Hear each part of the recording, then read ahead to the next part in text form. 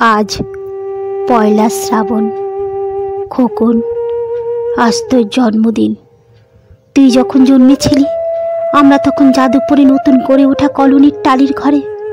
তোর school master বাবা হ্যারিকেনে চলে ওঠা ঘরে আনন্দে আর খুশিতে ঝলমলে হয়ে উঠেছিলেন তুই আসার পর। তোর নাম রেখেছিলেন সুকল্যাণ। মানুষটার মনটা ছিল শিশুর মতো। অভাবে, অনটনে বেঁচে থাকার নানান দুর্বিপাকেও ভেঙে পড়তেন না কখনো। বলতেন, দেখো, একদিন এই দেশের মানুষ ঠিক খুঁজে পাবে মুক্তির পথ। শোষণ থেকে মুক্তি, দরিদ্র থেকে মুক্তি, অশিক্ষা থেকে মুক্তি। আজ পয়লা শ্রাবণ, খোকন, আজ তোর জন্মদিন। ছোটবেলায় তোর মনে আছে? আমাদের ভাঙা মেঝেতে বাক্স থেকে বার করা মেজমাসির হাতে তৈরি আসনটা পেতে দিতাম। সামনে রাখতাম ঠাকুরের আসনের প্রদীপখানা। তুই বসতিস বাবু হয়ে চুপটি করে। তোকে আমরা একে একে ধান দুর্ব মাথায় দিয়ে আশীর্বাদ করতাম। বাবা বলতেন, বড় হও, মানুষ হও। তোর বাবা সেই বন্ধু, ঘোষ কাকা? তিনি বলতেন, বেঁচে বড়তে থাকো। তুই জিজ্ঞেস করতিস, মা, বড়তে থাকা মানে কি?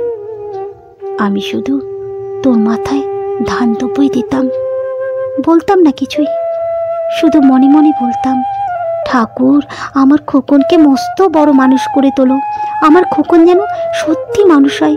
ওর যেন কখনো কোনো বিপদ না হয়, ঠাকুর। অভাবের সংসারে ওই একটা দিন কষ্টের পয়সায় একটু বাড়তি দুধ নিতাম। পায়েস রান্না করে দিতাম তোকে। তুই খুব ভালোবাসতিস পায়েস খেতে।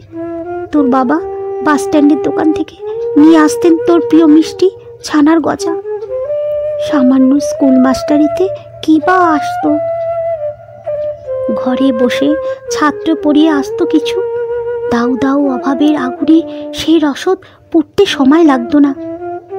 তোর বাবার জামা সেলাই করতাম, বারবার বলতাম, আসছে মাসে দুটো জামা বানিয়ে নিও। উনি হেসে উঠে বলতেন বাদ দাও তো, খোকন বড় হচ্ছে। ওর জন্য ভাবছি দুধ রাখতে হবে। আরও আছে দুধে, শক্তি বাড়ে, বুদ্ধি বাড়ে। শক্তি আর বুদ্ধি না হলে তোমার খোকন মস্ত বড় মানুষ হয়ে উঠবে কি করে? ভাবছি আরও দুটো টিউশন নেব। ছাত্র পড়িয়ে পড়িয়ে মানুষটা দিনের শেষে ক্লান্ত হয়ে যেতেন।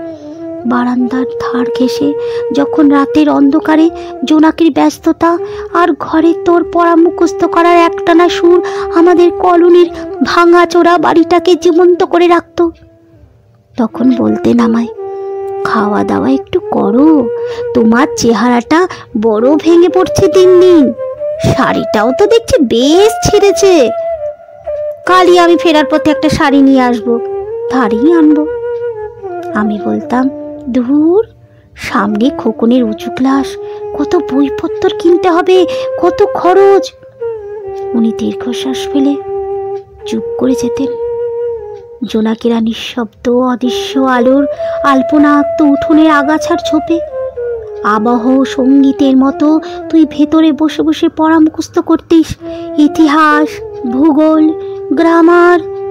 ঈশ্বর আমাদের নিরাশ করেননি। তুই কত বড় হলি? সব পরীক্ষায় কত ভালো ফল হলো তোর। বাবা বললেন আরও পড়ো। উচ্চ শিক্ষাই উচ্চ সম্মানের একমাত্র পথ। তুই আরও পড়লি। তারপর তোর চাকরি হলো। কত বড় অফিসে। মনে আছে খোকা? প্রথম মাসের মাইনে হাতে পেয়ে তুই কত কি কিনে এনেছিলি? তখন তো আমরা উঠে এসেছি শ্যামবাজারে। দু কামরা সাজানো গোছানো ফ্ল্যাট। তোর অফিস থেকে তো দিয়েছিল। সেই বাড়ি, সেই ঘর, সেই ব্যালকনি। কত স্মৃতি, কত ছবি। ওই বাড়িতেই তো, ওই বাড়িতেই তো আশ্বিনী ঝড় বিকেলে তোর মনে আছে কুকুর? তোর বাবা যে দিনটাতে চলে গেলেন, মনে আছে? তুই বাবার বুকের উপর পড়ে যখন কাঁদছিলি আপস নয়নের সত্য স্বামীহারা আমি সেদিন তোর সেই অসহায় মুখ দেখে আরও বেশি করে ভেঙে পড়েছিলাম। তোকে বুকে টেনে নিয়েছিলাম ছোটোবেলার মতো। বলেছিলাম, কাঁদিস না খোকা, আমি তো আছি। আজ পয়লা শ্রাবণ, কলকাতা থেকে অনেক দূরে মফস্বলের এই বৃদ্ধাশ্রমে আমি একেবারে একা খোকন। তোকে বড় দেখতে ইচ্ছে করছে রে। তোকে, বৌমাকে আর ছোট্ট বিল্টুটাকে। তোরা এখন কত দূরে সল্টলেকের মার্বেল বসানো ঝকঝকে বাড়িতে।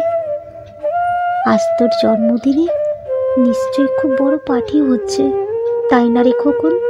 লোকজন ওই চই, খাওয়া দাওয়া, খুব ভালো খুব ভালো। খোকন আজ পয়লা শ্রাবণ। আমার বড় মনে পড়ছে, যাদবপুরে ভাঙা ঘরে রাতে তুই আমার পাশে শুয়ে মাঝে মধ্যে হঠাৎ খুব ভয় পেয়ে জড়িয়ে ধরতিস আমাকে। আমি বলতাম, ভয় রে? আমি তো আছি, মা তো আছে খোকনের, যার মা থাকে তাকে কি ভূতে ধরে? তুই নিশ্চিত হয়ে ঘুমিয়ে পড়তিস আমার বুক জুড়ে? তোর আধুনিক সংসারে এই বুড়িটার একটু ঠাই হলো না রে। প্রতিমাও তো মা, তারও তো আছে আমার মতো খোকনের মতোই কোল আলু করা এক চাঁদের টুকরো। কিন্তু সময়ের কি আশ্চর্য পরিবর্তন। খোকন, তুই বোধ হয় আর এখন পায়েস খাস না, তাই না রে? জানিস, আজ আমি সকালে পায়েস রান্না করেছি। হ্যাঁ তোরই পাঠানো টাকায়। সারাদিন সেই পায়েসের বাটি সামনে নিয়ে বসে আছি রে। এখানে এই বৃদ্ধাশ্রমে আমার একলা ঘরে আর কেউ নেই। তুই একবার আসবি কুকুর। একবার? শুধু একবার?